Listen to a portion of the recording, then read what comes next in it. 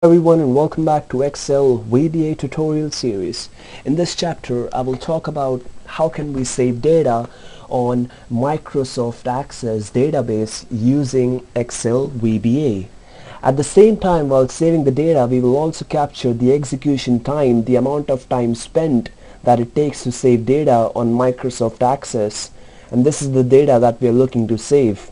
So let's jump down to the Developers tab and Visual Basic. You may want to ignore these two lines of code because it's solely to capture the amount of time that it takes to save data. So to start off with, you may want to define, um, let's say dim new con as adodb.connection. Now, you would need to set up this as um, a new adodb.connection. This is nothing but the connection that we'll be maintaining with the Access database. So um, now that this has been set up what you may want to say? Um, you may want to also define a record set a record that will be held within this connection within this database. So let's say dim record set as adodb.record set. And then again you may want to assign this back to a new adodb.record set um, once you have done this, we will now establish an active connection with the Access database by saying new con.open then in quotes you will say provider equal to microsoft.ace.oledb um, dot 12.0 and then you would mention the data source which is none other than the path where your access database is stored. So for me I've stored it on desktop. I will just right click go to properties. I will grab the path right from here and um, I will also grab the name of the database which is right here. And finally I will grab its extension which is available right here which is ACCDB now once I've got everything I will just close down the quotes and finally I will say um, now that we've established a valid connection I will say record set dot open which will be none other than the table that's held within the database. So I've just opened the database and my table is called table 1. So I will say record set.open table 1 comma active connection is the connection that we've established with new con again comma I will say add ad open dynamic and finally I will select um, this.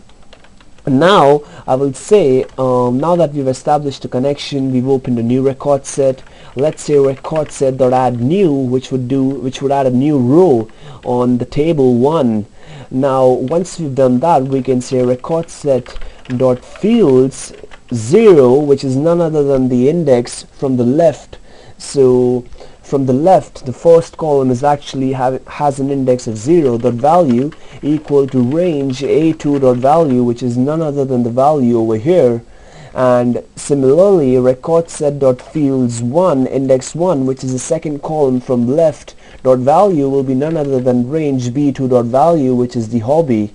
Once we've done this finally we just need to say record set dot update and record set dot close which should pretty much um, do everything for us. Now once you've done that um, finally we will get the time that it took to complete this execution. So we will say um, range h3 dot value equal to end time minus start time. This will give us the amount of time that it actually took us to complete this execution and save data on the access database so let me just jump down and just assign this macro quickly to this button that I've created. Now on clicking onto this button um, as we can see the access database has opened up which shouldn't have been the case. Um, so let me quickly see what's the error and why has it opened up. Okay so I, it seems I, have assigned a wrong um, macro to this. It's actually not open macro. It's um, save on access. My bad so let me just try clicking on this again and as we can see it took literally 15 milliseconds to save data on Microsoft Access which is probably the quickest or one of the quickest. Let me just open this quickly and see what is um, the data um, that got stored in the Access database. So it seems like there's an issue as this is not opening up for some reason but um, that's pretty much um, saved the data on the Access database using the simple code. And well within a very fast time as we've noticed. So guys this is pretty much how you save data using Excel to Access database. So thanks for watching this video and stay tuned for more